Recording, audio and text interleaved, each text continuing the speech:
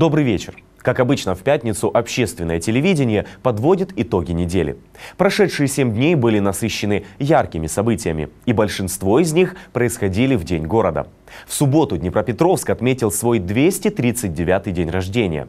Праздничный молебен в Свято-Троицком кафедральном соборе, возложение цветов, открытие музейного переулка, парад ретро-автомобилей, аллея творчества, фестиваль вина и виноградарства, новые рекорды, масса творческих и спортивных выступлений. Перечислять все, что радовало горожан в этот день, можно очень долго. Давайте лучше еще раз посмотрим, как это было. В субботу Днепропетровску исполнилось 239 лет. С самого утра сотни горожан пришли в Свято-Троицкий кафедральный собор, чтобы помолиться о процветании города и благополучии каждого его жителя. Праздничная служба объединила всех, независимо от возраста, пола, социального статуса и политической принадлежности. Я хочу всех поздравить с этим великим праздником, пожелать мира, благоденствия, благополучия, неусыпного покровительства Матери Божьей.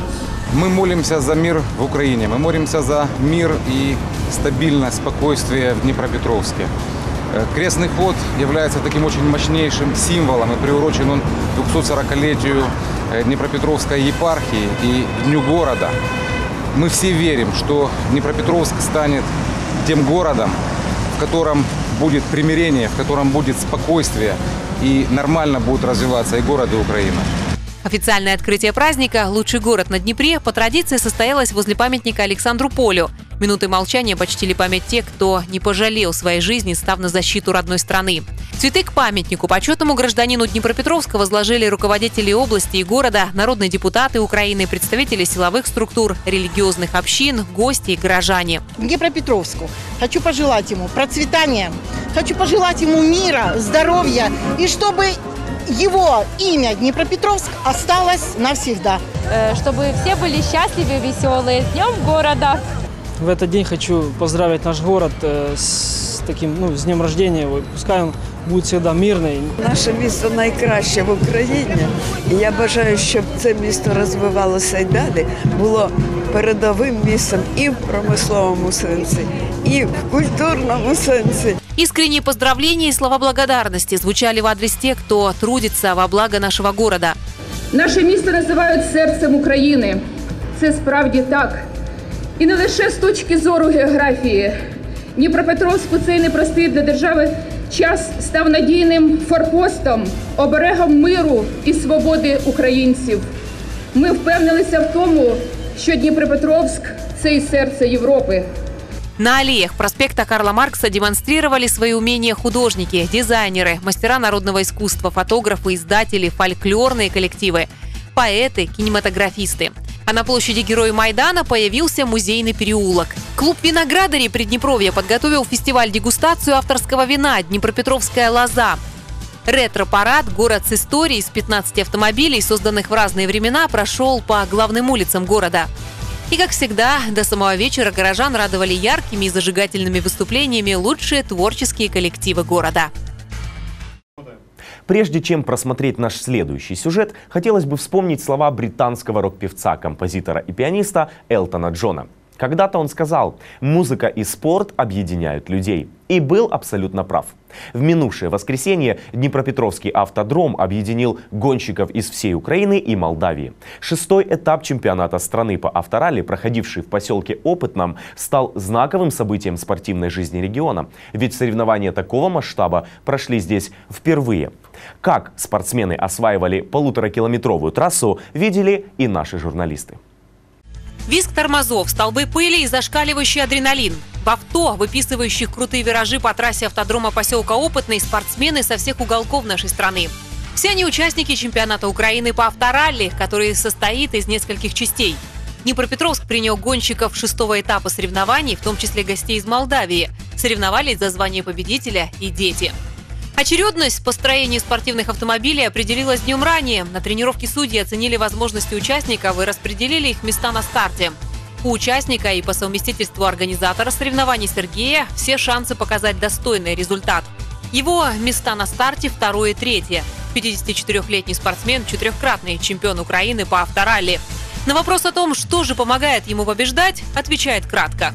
Не, в приметы не верю. Верю только в честную, бескорыстную дружбу.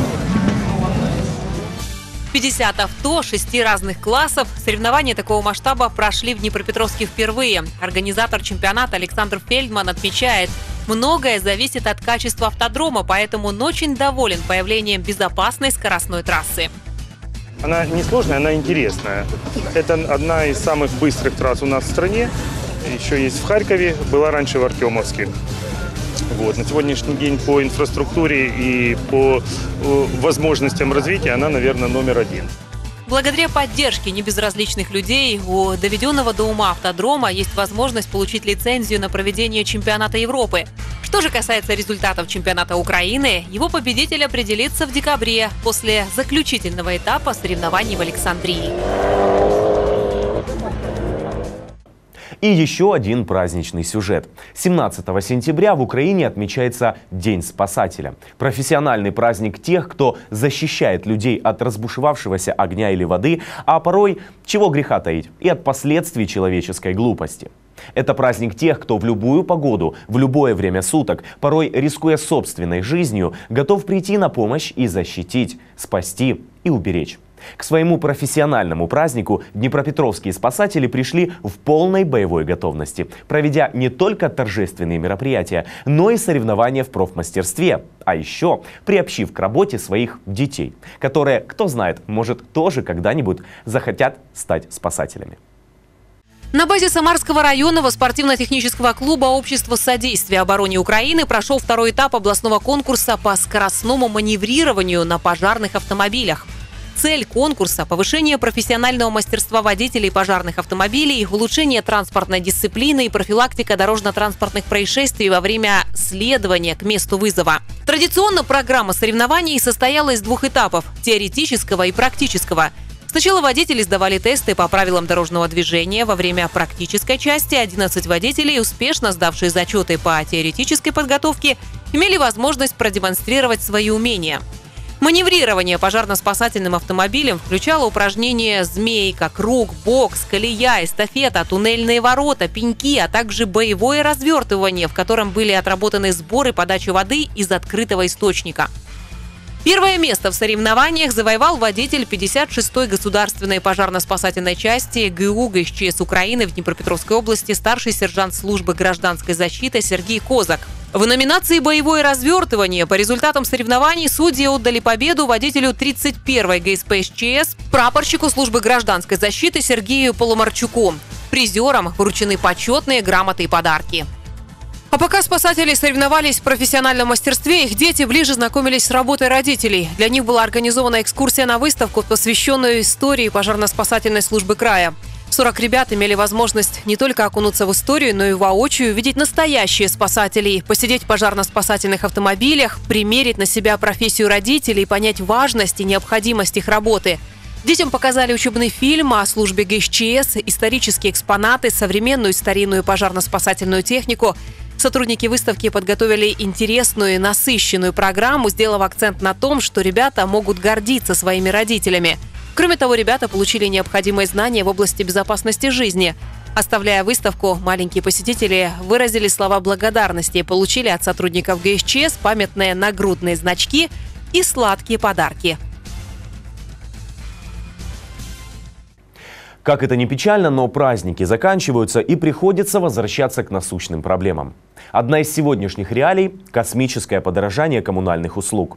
Стоит только подумать о приближающихся холодах, и головная боль растет прямо пропорционально цифрам в квитанциях об оплате коммунальных услуг. Новые тарифы пугают абсолютно всех. И государство решило помочь людям нести эту непосильную ношу. В феврале в Кабинете министров утвердили постановление об упрощении процедуры получения субсидий. Этому вопросу была посвящена недавняя пресс-конференция в облгосадминистрации.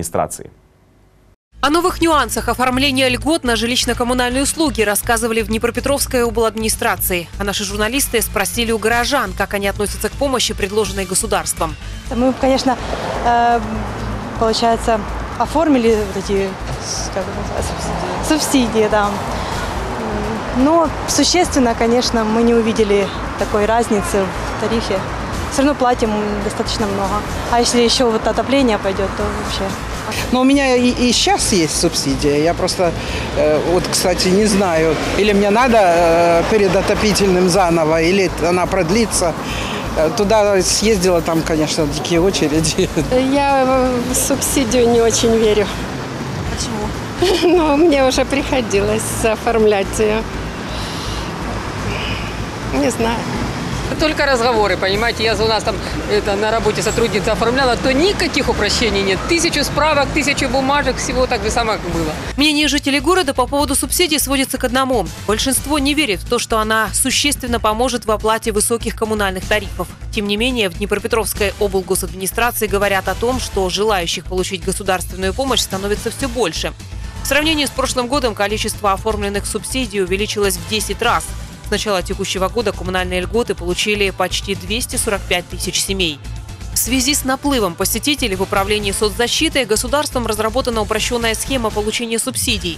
По словам специалистов, чтобы сократить очереди и ускорить процесс получения адресной помощи, Днепропетровское управление соцзащиты принимает документы в своих подразделениях по месту проживания, отправленных через Укрпочту и через интернет. Заполнить заявку и декларацию онлайн можно на портале государственных услуг. Заполнить документы на назначение субсидии онлайн точно так же, как и подать их лично э, в Управление социальной защиты населения при подаче. Точно так же, как и документы, которые заполняются и отправляются по почте. Я акцентирую на этом внимание. Заполняет только тот человек, который прописан в домовладении и на которого открыты лицевые счета. Кроме того, количество прописанных жильцов должно соответствовать числу зарегистрированных в документах предприятий, оказывающих жилищно-коммунальные услуги. всем, кто уже обращался, всем, кто уже заполняли заявление и декларацию для назначения субсидий, заполнять повторно эти документы не нужно. То есть это касается только тех э, семей, которые вот сейчас приняли решение о том, что им субсидия необходима, они хотят воспользоваться этим видом адресной социальной помощи. Часто вопросы о субсидиях задают люди, в чьих квартирах есть счетчики газа и воды. Если стоят счетчики, это ваше, ну, это экономное потребление данной услуги, да, которая дается домовладению. Но субсидия дается на нормы, на нормы потребления. Нормы потребления считаются э, исходя из количества э, прописанных людей. При соблюдении всех правил у многих есть шанс на получение адресной помощи, которая предоставляется на целый год. Продолжить и развить эту тему, которая без сомнения волнует очень многих наших зрителей, мы решили, пригласив в нашу студию начальника отдела Департамента социальной защиты населения Днепропетровской облгосадминистрации Александру Владимировну Давыдовскую. Добрый вечер, Александра Владимировна. А, В нашем сюжете шла информация о том, что э, количество людей, которые хотят получить субсидию, увеличилось в 10 раз. Э, На самом ли деле эти цифры правдивые и что сейчас происходит в э, отделах соцзащиты? Да, на самом деле на сегодняшний день в Днепропетровской области 245 тысяч э, домовладений уже пользуются программой жилищных субсидий. Поэтому э, по сравнению с аналогичным периодом прошлого года это действительно более чем в 10 раз э, эта цифра превышает. Но Кабинетом министров Украины принято решение выделить на эту программу в, э, целом по Украине э, практически 25 миллиардов гривен. Из них Днепропетровская область, в свою очередь, получила более 2 миллиардов. Поэтому всем хватит. Все, все э, люди, которым, которые нуждаются в этом виде адресной государственной помощи, они все будут этим видом э, помощи обеспечены. Какие ограничения установлены Кабинетом министров на получение субсидий? э, Или, проще говоря, кто имеет и кто не имеет права на оформление этих документов? Для получения, ну, на получение субсидий имеет, э, для получения этого вида э, помощи имеет право любой э, человек, который, любая семья, которая оплачивает на свой взгляд э, достаточно приличную сумму э, на оплату жилищно-коммунальных услуг. Э, Нет ограничений ни по статусу, то есть нет такого, что работающим дают, не работающим не дают. Э, Нет ограничения ни по возрасту, нет ограничения ни по доходам. Единственный момент, э, который остался в виде имущественного ограничения, это разовая покупка в период, за который берутся доходы, которая равна либо превышает 50 тысяч гривен. То есть если человек на, э, при оформлении субсидии указывает срок, за который берутся доходы, предыдущий календарный год, то такой покупки не должно быть в 2014 году. Если эта э, покупка была совершена в последние три месяца, то не, должно, ну, не нужно указывать тогда этот период, нужно брать предыдущий календарный год. Это единственное ограничение. Какой пакет документов нужно приготовить или с каким пакетом документов нужно приходить в отделы соцзащиты для того, чтобы оформить субсидию? На, принято решение еще раз э, все домовладения Днепропетровской области обеспечить необходимым пакетом документов, а это заявление на одной странице и с обратной страницы, с обратной стороны этого листа на другой странице декларация о доходах. То есть если э, семья имеет право на получение субсидий на общих основаниях, то есть количество прописанных Мгм. домовладений соответствует количеству людей, которые числятся в предприятиях коммунальных, э, которые оказывают коммунальные услуги. Э, Один из прописанных, э, на нем все лицевые счета, на его фамилии все лицевые счета в предприятиях. В этом случае человек заполняет только заявление и только декларацию. Никаких других документов подавать нет необходимости. Если э, существуют какие-то исключения из этого правила, то есть прописано три человека, фактически проживает один человек, или э, ну, какие бы то ни было моменты, которые не совпадают с, э, с общими основаниями, в этом случае там уже будут э, комиссионно эти вопросы рассматриваться, и тогда комиссия может потребовать какие бы то ни было документы.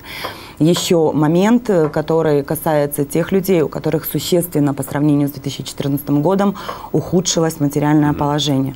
То есть у нас в положении о порядке назначения жилищных субсидий прописано, что берутся доходы за предыдущий календарный год. То есть 1 января 2014 года по 31 декабря 2014 года.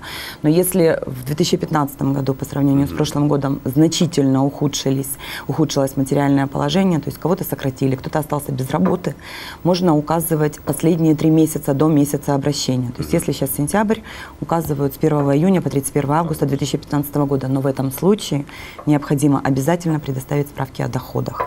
То есть либо из центра занятости, либо если человек не работает, пропис- прописывает, что він не працює. В этом случае вот нужны справки о доходах только работающих граждан. Ни пенсионерам, ни женщинам, которые получают социальную помощь через управление соцзащиты, никакие документы заполнять не нужно. Скажите, сколько происходит э, рассмотрение заявки жителя Днепропетровска на получение субсидий? Ориентировочно сроки? От 20 дней до месяца Мгм. на сегодняшний день. Это обусловлено положением о порядке назначения жилищных субсидий, то есть есть определенное количество дней на формирование запросов предприятия, э, э, есть э, количество дней, которые эти предприятия отрабатывают эти запросы, в последующем возвращаются, возвращается информация с государственной фискальной службы о доходах, пенсионного фонда о размере пенсий, э, с предприятия о размере платежей по каждому домовладению.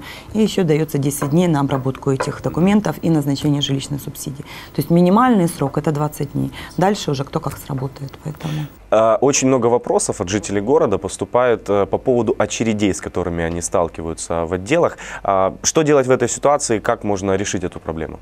для того, чтобы минимизировать очереди, потому- поскольку нагрузка возросла более чем в 10 раз на управление О соцзащиты, да, о чем мы говорили, э, мы сейчас работаем в трех направлениях. То есть не только принимаются заявления, как это всегда было от граждан в управлениях соцзащиты по месту прописки лично.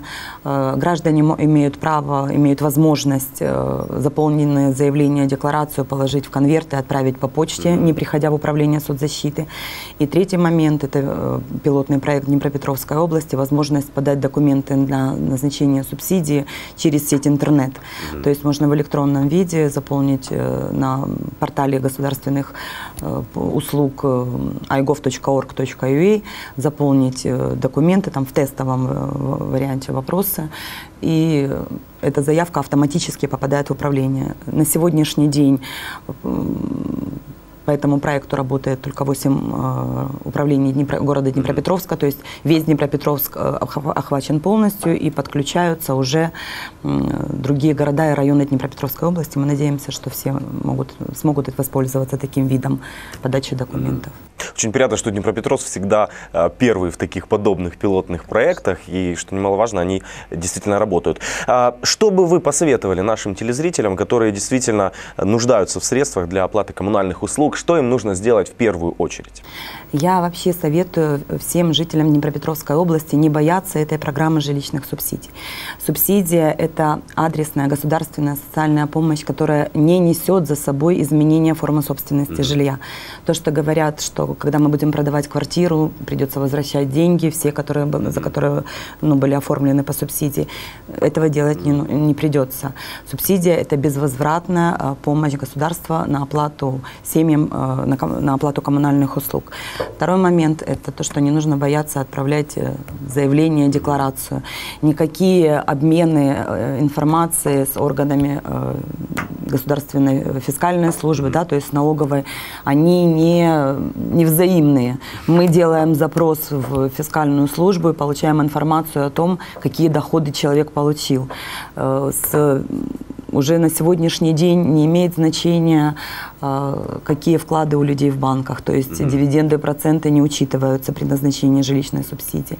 Не имеет значения, какие виды одноразовой помощи из государственного бюджета, из областного бюджета или из местного, районного либо городского бюджета получили люди. То есть берутся доходы только, которые носят систематический характер. Это пенсии, это заработные платы, это стипендии студентов, это социальные помощи женщинам, которые находятся по уходу за ребенком. То есть только те выплаты, которые имеют систематический характер. И только за тот период, либо предыдущий год, либо три месяца, который заявитель сам укажет в декларации. Спасибо вам большое за исчерпывающие ответы. Ну а мы напоминаем, у нас в студии была начальник отдела Департамента социальной защиты населения Днепропетровской облгосадминистрации Александра Владимировна Давыдовская.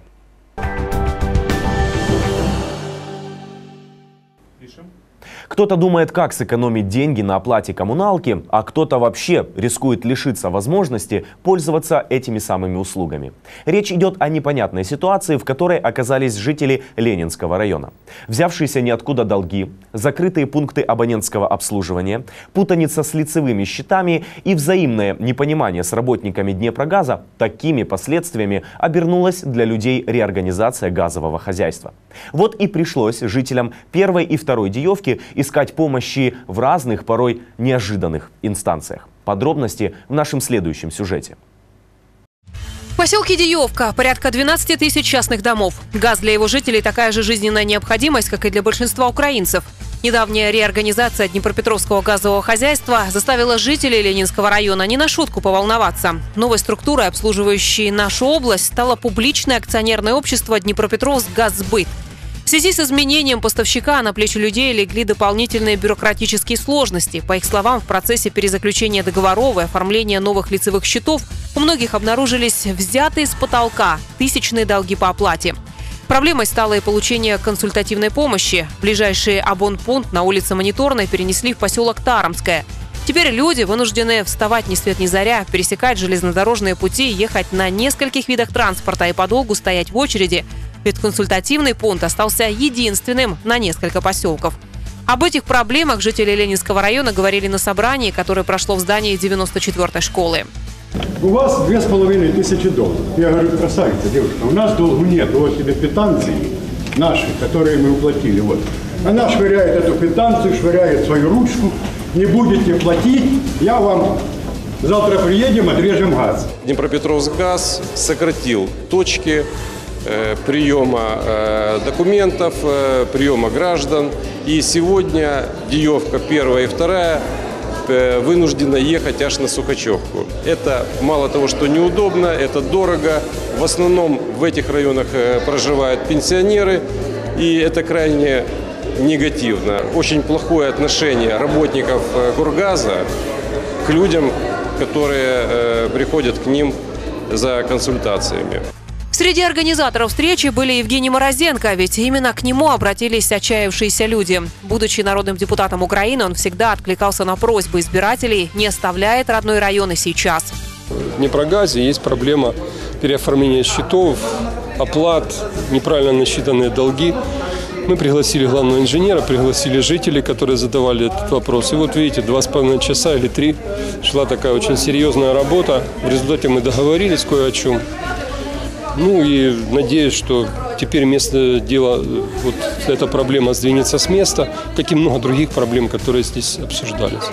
В ходе обсуждения сложившейся ситуации с представителем Днепрогаза у людей появилась надежда на открытие абонентского отдела на улице братьев Трофимовых. Правда, пока это только в планах. Оставшийся открытым вопрос о платежах представитель Днепрогаза прокомментировал так. Вот попытались сегодня объяснить, что на сегодня спешить заключить договора не нужно. Платежи можно производить как по новому лицевому счету, так и по старому лицевому счету. Ваши деньги никуда не деваются от этого. Они все равно будут использованы именно по вашему адресу, по вашей прописке. Эти деньги не пропадут. Корреспонденты ОТВ будут следить за развитием ситуации. О том, как она изменится, мы расскажем в наших следующих выпусках. Очень жаль, что подобные случаи происходят из-за бюрократии, которая по-прежнему имеет место в нашей с вами жизни. Правда, сейчас у жителей области появилась надежда на упрощение доступа к административным услугам. По информации облсовета, в регионе уже оборудовано 35 информационных центров. Проект местного и регионального развития стал одним из 830 разработанных в облсовете. Часть программ уже воплощена в жизнь при помощи зарубежных партнеров, но огромную часть еще предстоит предстоит осуществить. И едва ли не самая главная тема децентрализация власти. На этой неделе Днепропетровск посетили иностранные эксперты и поделились своим опытом проведения территориальной реформы. Днепропетровск посетили эксперты Ассамблеи европейских регионов. Целью их визита стало обсуждение вопросов децентрализации с представителями областной, районной власти и территориальных общин. В ходе заседания круглого стола председатель Днепропетровского облсовета Евгений Удот презентовал ряд проектов расширения международного и межрегионального партнерства и рассказал о конкретных планах и уже проделанной работе, касающейся местного самоуправления. Основные направления программ сотрудничества с европейскими партнерами – экономия энергии, упрощение бюрократических процедур и эффективное управление городами региона. Наша область э, делает активные шаги э, в вопросах э, децентрализации и реализации тех законов, которые уже внедрены сейчас в Украине. Мы эту работу будем делать дальше. В свою очередь, представители Ассамблеи европейских регионов из Германии, Италии, Франции, Польши и Румынии выразили готовность поддерживать представленные проекты местного и регионального развития. Процесс децентрализации, процесс территориальных реформ происходит по всей Европе. Происходит в данный момент даже в Италии, где вопрос децентрализации поднимается и решается. Мы понимаем, насколько чувствительным является этот процесс, поэтому мы переживаем и ощущаем очень серьезный уровень политического напряжения в связи с внедрением реформ в нашей стране. Я из земли Бранден-Гутенбург. Это земля, которая пережила очень серьезную территориальную реформу в 1974 году. Поэтому я буду очень рад поделиться своим личным опытом по мере необходимости.